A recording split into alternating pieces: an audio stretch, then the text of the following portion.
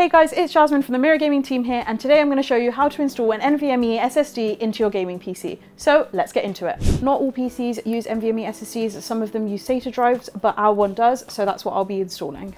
On your motherboard you'll find a slot for the NVMe SSD. Sometimes this is covered up with a heatsink, so you can just remove that. Our SSD is the Kingston Fury Renegade 4TB edition and it comes with a heatsink, so we don't need to use the heatsink that comes with the motherboard.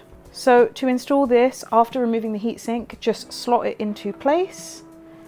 You'll find a little notch to make sure that it fits in. Then press down slightly and then screw it into place. Ours comes with a little plastic notch to make this easier, which we just turn and slide. And there you go, the SSD is installed. If yours doesn't come with a heatsink, then you'll need to reattach the heatsink on top you might need to remove a small layer of film which comes on top of the thermal paste attached to the heatsink and then you just screw it in place using the same screw that you've just screwed down your SSD with.